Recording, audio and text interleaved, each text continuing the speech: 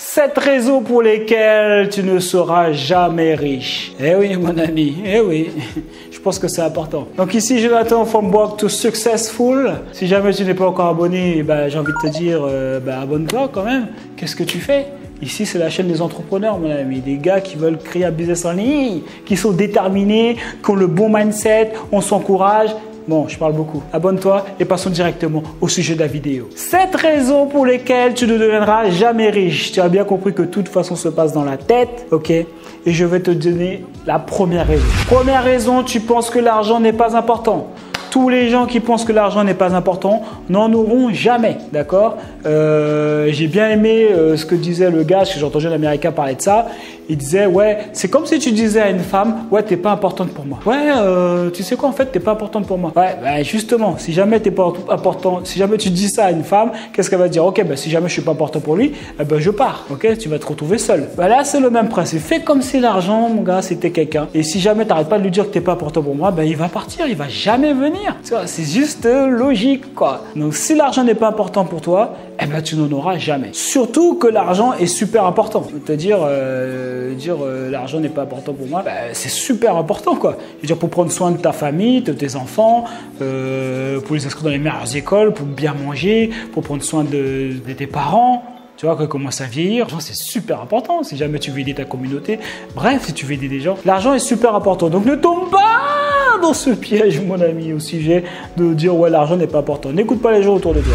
Deuxième raison pour laquelle euh, tu ne seras jamais riche, c'est que l'école n'enseigne pas comment euh, gagner de l'argent. D'accord? Ça se saurait si jamais l'école faisait ça. J'ai envie de te dire, euh, pour que quelqu'un puisse t'enseigner comment gagner de l'argent, il faut que lui-même il en gagne. Et ce ne sera pas le cas ni de ton professeur, ni dans le directeur de ton école. Donc, ça, c'est l'une des raisons pour lesquelles tu gagneras, tu ne seras jamais riche. Donc, tu dois prendre toi-même la décision de te former sur l'argent, sur les richesses, sur l'immobilier, sur la bourse, d'accord, sur le business en ligne. Tu dois prendre la résolution de te former toi-même pour pouvoir avoir des résultats. Troisième raison pourquoi tu n'es pas riche, c'est tout simplement parce que tes parents ne t'ont pas expliqué comment faire pour gagner de l'argent. D'accord Comme la plupart de, des parents, je veux dire, ma, ma mère, elle peut pas, elle peut pas m'apprendre quelque chose qu'elle-même ne sait pas. Tu vois, c'est logique. Donc, tes parents ne t'ont pas appris à gagner de l'argent. Ça ne veut pas dire qu'ils t'aiment pas, ça ne veut pas dire qu'ils ont mal fait. C'est juste qu'ils ont fait le mieux qu'ils pouvaient pour toi, avec tout l'amour qu'ils avaient. Mais ça, c'est des choses qu'ils ne maîtrisent pas. Donc, si jamais ça revient au même, si jamais tu te formes pas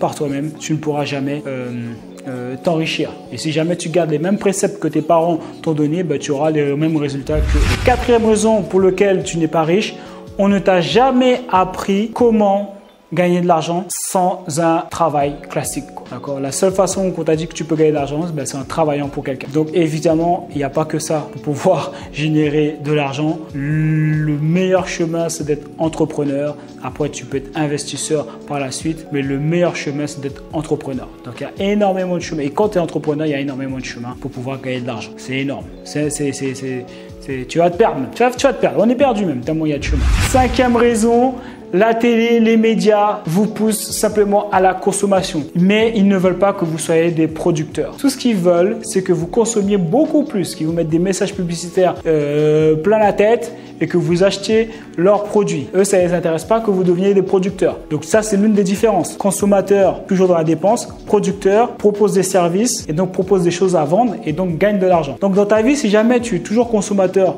tu n'es pas producteur, tu ne gagneras pas d'argent. Il faut que tu inverses les rôles. Il faut que tu sois producteur et beaucoup moins consommateur. Donc eux, la télé et les médias, c'est pas ce qu'ils veulent. Ils veulent que vous soyez des consommateurs, que vous consommiez à crédit. Voilà, comme ça c'est cool. Euh, et ça fait des dépenses, ça fait des dépenses. Et eux, ils sont contents.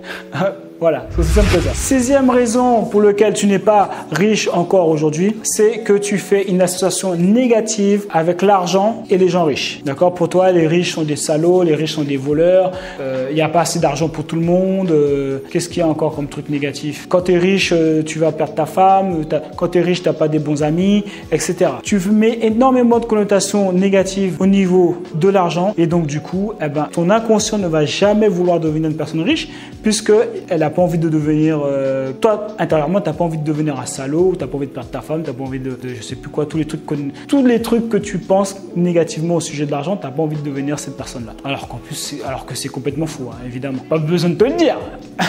dire. Mais je te le dis quand même. L'argent ne fait que exprimer ce que tu es, c'est tout. À la base, il n'y a pas de méchants, plus de méchants ou de gentils chez les gens pauvres ou chez les gens riches. C'est les mêmes personnes, sauf que l'argent fait que décupler euh, ce que tu es, tout simplement. Si jamais tu es généreux, ben, tu seras encore plus généreux. Si jamais tu étais un salaud, ben, tu seras encore plus un salaud. Septième raison pour laquelle tu n'es pas encore riche, c'est tout simplement parce que tu ne prends pas l'entière responsabilité de tes finances. Tu préfères te plaindre. Les gens préfèrent se plaindre, se plaindre, faire la grève, oui, on veut plus d'argent, etc., comme s'ils dépendaient toujours de quelqu'un. Jamais ils se disent, OK, je décide maintenant de gagner plus d'argent par moi-même. Je décide de créer mon business en ligne à côté de mon travail lorsque je sors sous mon temps libre. D'accord? Lorsque je sors du travail, je me consacre une à deux heures sous mon business en ligne pour pouvoir le développer et générer des revenus. Quand tu fais ça, tu n'as pas besoin d'aller faire la grève. Un entrepreneur, un riche ne va pas aller faire la grève. D'accord? Il n'a pas besoin de pourquoi? Pour gagner quelques euros en plus? Non. Si tu as le bon mindset, tu vas te dire je me débrouille tout seul. C'est ça l'entrepreneur. Un gars qui est riche dit je me débrouille tout seul. Maintenant, pour pouvoir prendre ses responsabilités,